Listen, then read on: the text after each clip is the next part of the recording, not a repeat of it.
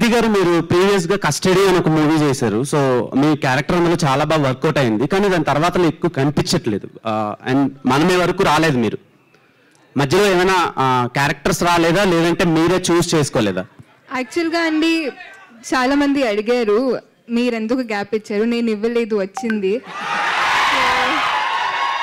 నేను తమిళ్ళో తమిళ్ అండ్ మలయాళంలో ఎక్కువ వర్క్ చేయడం వల్ల ఐ థింక్ ఆ గ్యాప్ న్యాచురల్గానే వచ్చింది. ప్లాన్ చేసుకుని తీసుకోలేదు. సో మీతో పాటు డెబ్యూ అయ్యేటోళ్ళు చాలా సినిమాలు చేస్తున్నారు యాక్టర్స్ సో మీరు అలా చేయకపోవడానికి reason I think this year నేను ఫైవ్ ఫిల్మ్స్ చేస్తున్నానండి. సో నాకై నాకైతే ఐఎమ్ వెరీ గ్రేట్ఫుల్ అంటే ఫైవ్ ఫిల్మ్స్ చేస్తున్నానని చెప్పట్లేదు. Even one film would be enough for me if I'm heartfully doing it so ఇది I I can't say that నేను తక్కువ చేస్తున్నాను. ఎందుకంటే I feel very grateful with what I have okay Sriramaditya Sharma గారు.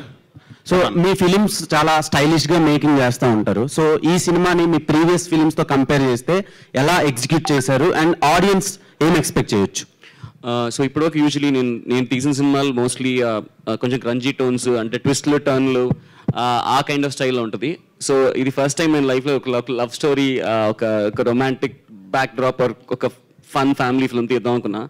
So uh, ఒక different one uh, అంటే మనకి నేను యంగ్ అన్నప్పుడు ఖుషి చూసినప్పుడు నాకు ఒక ఫీలింగ్ ఉండేది. అంటే uh, నా